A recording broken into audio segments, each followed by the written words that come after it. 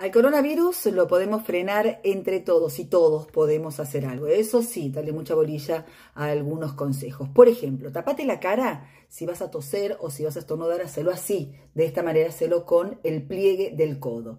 Lávate las manos frecuentemente y sobre todo quédate en tu casa por 14 días si es que volviste de viaje de algún país donde esté circulando el coronavirus. Es importantísimo que respetes el aislamiento.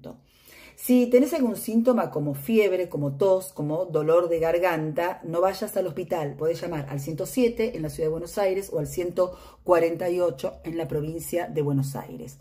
Si conoces alguna persona mayor de 60 años y que esté solo, por favor te pido que te acerques y le preguntes qué es lo que necesita, que se está esperando que le hagas esa pregunta.